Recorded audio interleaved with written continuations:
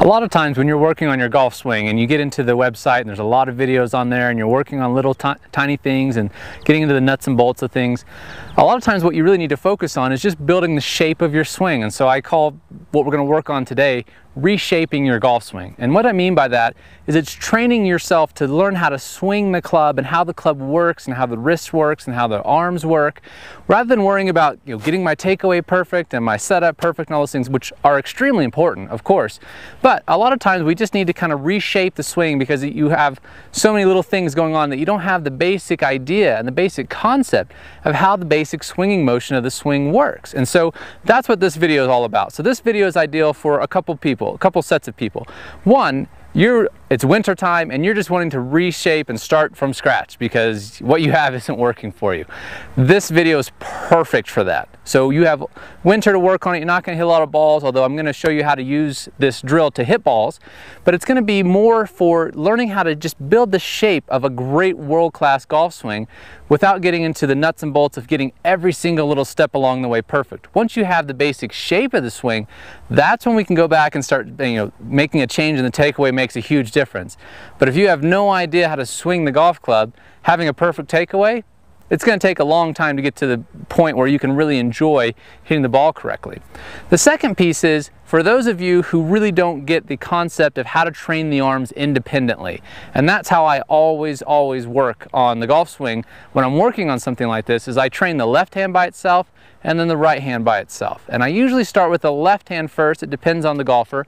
But the reason for that is the left hand really controls the left arm, left side, controls the position and the impact alignments of the club, which is obviously everything. If the club's in the right position at impact, we got a good shot at hitting good shots. So the right hand is really primarily there for speed. So we're gonna focus on the left arm first, and then we're going to train the right arm. And this is going to be critical for learning how to just build the shape of a golf swing. And then we're going to go back and you can go back and watch the other videos and get the details of it. But this video is going to be really critical for just about everybody, but those people specifically. You're working on reshaping your swing for the winter. You really don't know what's going on in your golf swing. This is going to help you with that. And then those of you who really need to learn how to train the arms independently so that you know when you train the left hand, the right hand just doesn't take over and vice versa. So let's get started. When we start shaping the swing, we're going to focus on the left arm first. As I mentioned in the introduction, that's really what's controlling the overall shape and width of the swing and those types of things, and the impact positions most importantly. So we're going to focus on the left arm first, and I'm going to teach you the basic swinging motion. This is going to look a lot like what you perceive as a golf swing. So it's very simple at first. We're just going to, before we get into this progression of drills, we're just going to get the basic shape of the swing. And so there's a couple key points that we're going to focus on. So the first thing that I'm going to do is obviously grip the club with my left hand only. And then what I'm going to do is I'm going to turn back and get my arm to a position at the top that resembles a golf swing. Don't worry about getting it perfect just yet. We're building the overall construct of the swing. So I'm going to keep my left arm straight. I want to see this. But I'm going to turn back. I don't want to see this. So as I turn back to the top, weights on the right, all the basic stuff that any piece that you're working on on your golf swing, whether it's the down cock or weight shift, stuff like that, you can still do that in this drill. So to the top and turn. And now what I want to do is I'm going to just shift laterally, just a little bit, just to get my weight back to the left side. And then I'm going to let my left hand swing down. And what you're going to notice is I'm not going to do this. That's what most people perceive as a golf swing.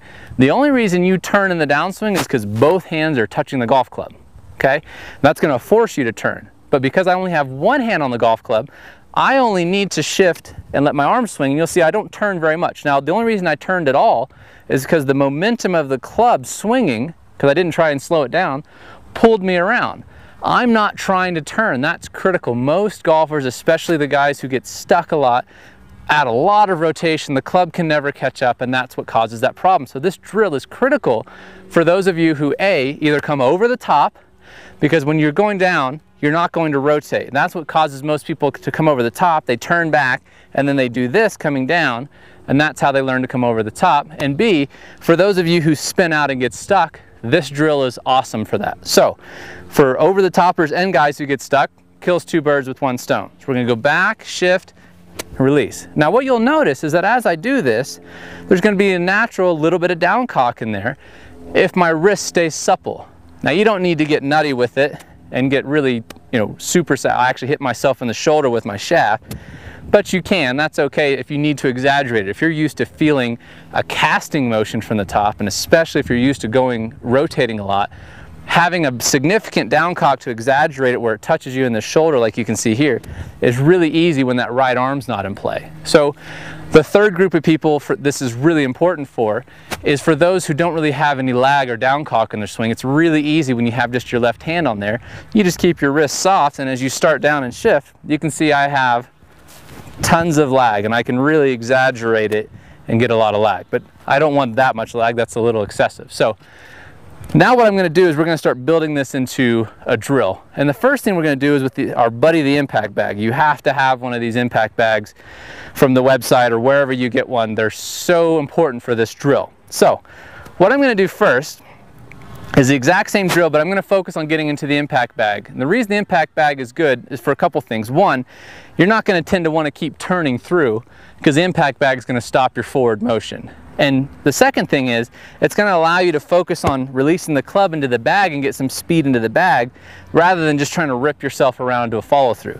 So I'm gonna focus all my energy into releasing here, and I don't have to worry about squaring the club face or hitting the ball solid. We're gonna get to that step next. So here, and then I'm just gonna release it. And so you'll see that as I come through, my body's still gonna be squared up, and now I've got myself into a good impact position here. This is going to be awesome for those of you who've really flipped the club. It's going to keep you from flipping the club into the bag and it's going to just teach you the basic shape and basic motion of what a golf swing really is. Okay. Once you have that motion, we're going to take the impact bag out for a second. And now we're just going to go back to what I was doing earlier, but the, you're going to focus on how your divots bottom out now. And what I mean by that, here on the grass, we'll be able to see it a little bit easier. As I do this drill, my divot bottoms out and starts in the exact same spot every single time, okay? That's not me being coordinated and being able to put it in there. I'm just letting physics and the motion do the work. So I'm letting my arm swing very soft.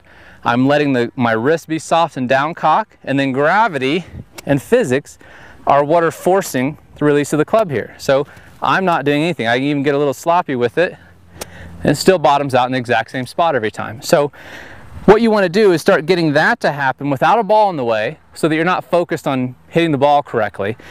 And then what we're going to do is we're going to go to this third step. So once you got your divots bottoming out in the same spot, now we can put a ball in front of the bag. So now we're going to kill two birds with one stone. We're going to get over that little nervous system hurdle where people always freak out and say, I do the drill perfectly and I put a ball in there and then it doesn't work. Well, it's not that the drill doesn't work. It's that your brain is now trying to make a compensation to hit this little white demon, okay? So with now that you've got the impact bag, which you'll build a lot of confidence really quickly hitting the impact bag. You'll get to the point where you can swing and down cock and shift your weight and not spin out really quick. When you take the impact bag away, it'll be a little bit more challenging, but you'll get it. But now when you put the ball in there, the reason we have this third step is to just get over the hurdle of actually just having to hit nothing but the ball. That gets a little scary at first for a lot of people. So this is gonna allow you to focus on hitting the impact bag and the ball is just gonna get collected. You're gonna hit it whether you want to or not. So all I'm gonna do now is the exact same drill, back, and you'll see I hit the bag and the ball just fine. Back, through. And the ball's not going to go anywhere. I'm using a 7 iron here.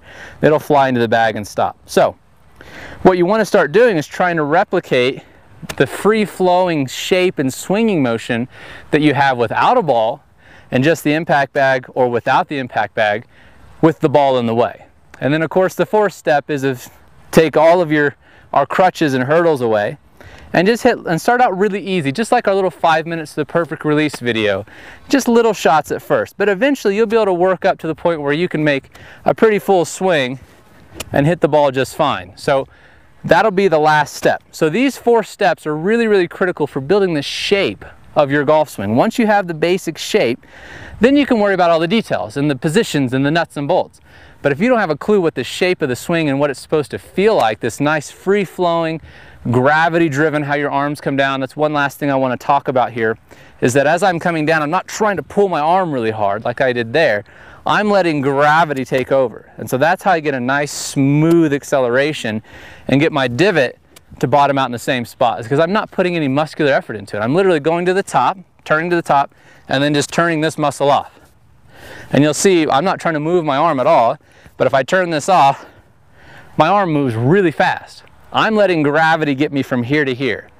And I have some initial research coming on out on that. It's going to be very interesting. I won't finish it till this winter, but you get the idea that from here to here, the hands are going to move about, my research so far has shown about 85% of your normal max speed of a tour player can get there solely by gravity. But we'll get to that to another day. So here, relax, let the club work through.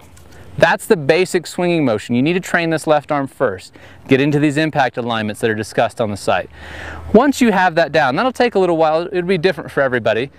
But make sure that you're pretty skilled at this. You don't have to hit the ball you know, dead perfect with your left arm only. And you don't need to hit the ball very hard because that's where the right arm is going to help and add some speed. And that's what we're going to talk about next. So now we got the left arm basic motion.